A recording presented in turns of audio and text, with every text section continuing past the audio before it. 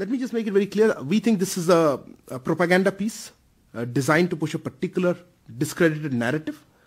Um, the bias, a lack of objectivity, and frankly a continuing colonial mindset is blatantly visible. If anything, uh, this film or documentary is a reflection on the agency and individuals that are peddling uh, this narrative again. Uh, it makes us wonder whether um, about the purpose of this exercise and the agenda behind it. And frankly, we do not wish to dignify such efforts.